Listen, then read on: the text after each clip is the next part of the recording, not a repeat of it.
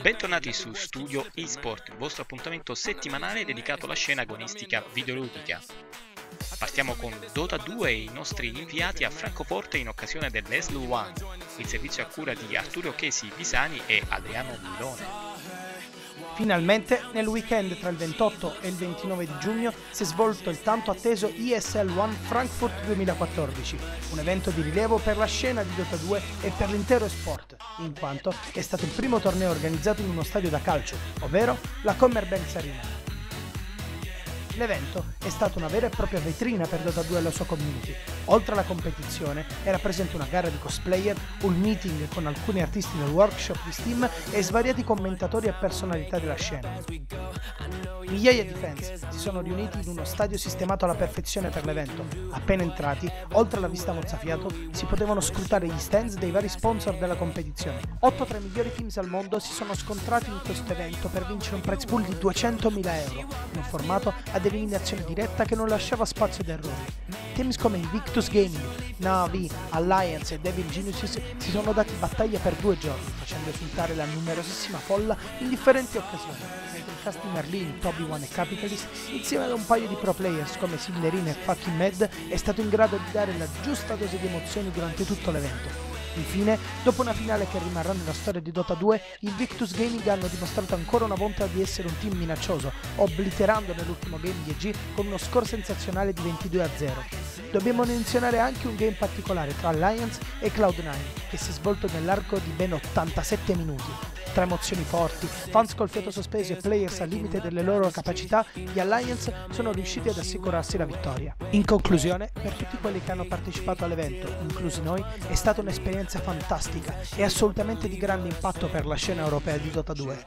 Ed è proprio in occasioni come questa che la linea che divide sport da e-sport e videoludismo diventa sempre più sottile, rendendo queste ed altre competizioni sempre più frequenti e comuni negli anni a venire spostiamo su FIFA 14 e la finale dell'International FIFA League Spring League, targata Showmatch, il servizio di Paolo Blasi.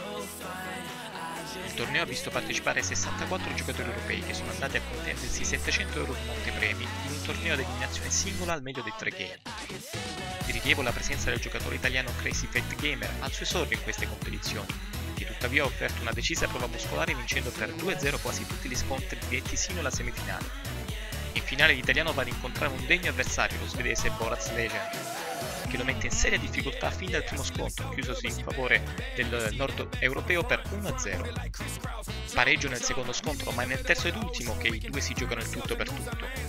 Apre le marcature lo svedese con Bale al 44esimo ed assedia successivamente l'italiano nella sua metà campo. Solo al 90esimo arriva anche il 2-0 che sancisce la vittoria definitiva di Boras Legend che si porta a casa 400 euro come primo classificato.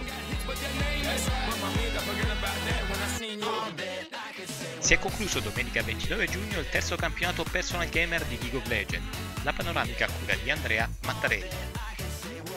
I team qualificati per le fasi finali erano 4, Team Titan Easyfix, Team Snowball Esports, Element Mercury e Siberia Esports. Nella prima semifinale, la quale vedeva scontrarsi il team Snowball Esports contro gli Element Mercury, ha visto tre game combattuti che hanno portato gli Element Mercury alla finale con un netto 2-1 ai danni degli Snowball Esports. Nella seconda semifinale, la quale vedeva scontrarsi i Titan Easyfix contro i Siberia Esports, il team Titan Easyfix si è aggiudicato la finale con un secco 2-0 ai danni dei Siberia. Nella fase finale per il terzo e quarto posto, il team Siberia Esport si porta a casa il terzo posto, ai danni degli Snowball Esports con un secco 2-0. Nella finale per il primo e secondo posto, il team Titan Easyfix si aggiudica, come da previsione, il primo posto, con un altro secco 2-0 ai danni del team Element Mercury. Concludiamo questo appuntamento di Studio eSport con la nazionale di StarCraft 2 e l'amichevole contro il Cile. Il servizio a cura di Paolo Blasi.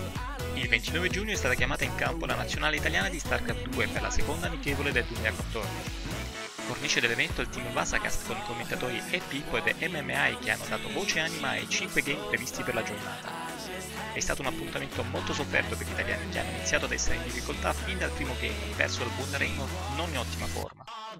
L'abile giocata di Starigo nel secondo game dà qualche speranza che proviene vanificata nel game successivo vinto dal Cile, Le ultime speranze svaniscono nel quarto game che sancisce il 3-1 e la vittoria per i sudamericani. L'orgoglio tricolore strappa un punto sul finale grazie a Narcotic che porta il risultato definitivo sul 3-2 in favore del team cileno.